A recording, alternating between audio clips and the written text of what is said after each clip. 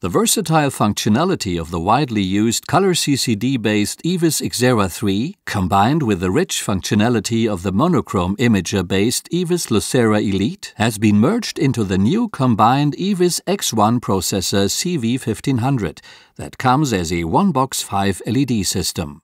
Users get access to an extended rich portfolio of new routine and existing special endoscopes from previously incompatible series.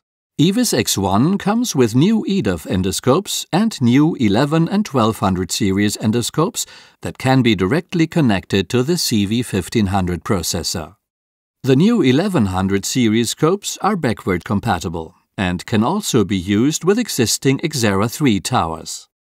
Likewise, all current 190 series EXERA 3 endoscopes can be connected to the backward compatible CV1500 processor. Even legacy 180 series EXERA 2 endoscopes can be used with the CV1500 when a CV190 is used for connector adaptation.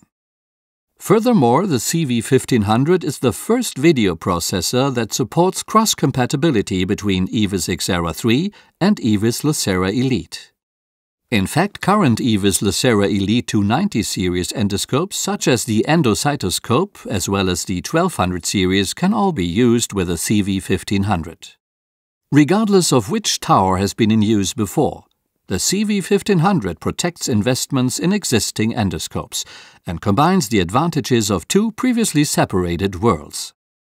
It adds new imaging features such as texture and color enhancement imaging, or TXI, and red dichromatic imaging, or RDI, to the industry standard narrowband imaging. All can be used with new and current endoscopes.